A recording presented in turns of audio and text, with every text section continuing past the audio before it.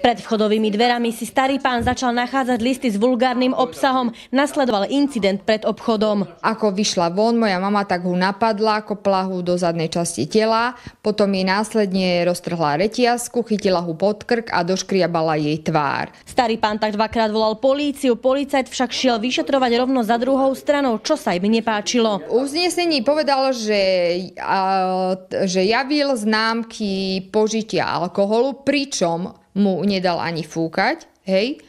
A môj otec je chorý na srdce, užíva užíva toľkoto liekov. Nezhody pokračovali v decembri, vyústili až do streľby plynovou pištolou.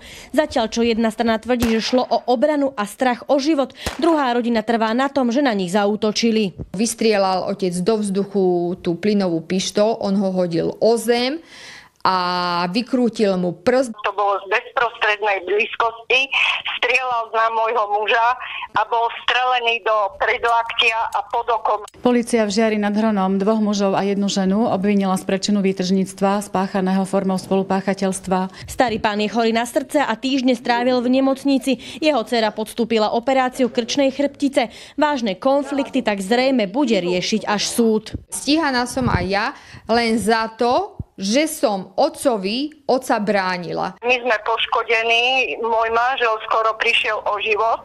Zvihní Katarína Juríčková, televízia Joj.